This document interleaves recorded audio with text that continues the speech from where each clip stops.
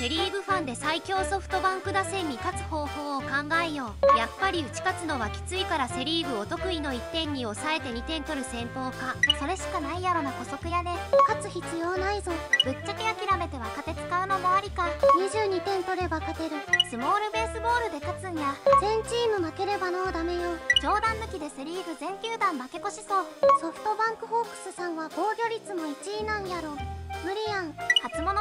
意外と苦手なイメージもある。大きな声では言えんけど左投手ぶつけると打てない柳田山川。近藤は対左投手の成績があまり良くない西武の竹内も打てんかった。エース級ぶつけて負けるの痛いからむしろ手を抜きたい感最初の生贄巨人マン一家。藤波緊急帰国。なんか打つ方はあんまり爆発しなさそう。それより抑えられる方がきつい。どうせみんな負けるから無抵抗でいいご視聴ありがとうございました。チャンネル登録よろしくお願いします。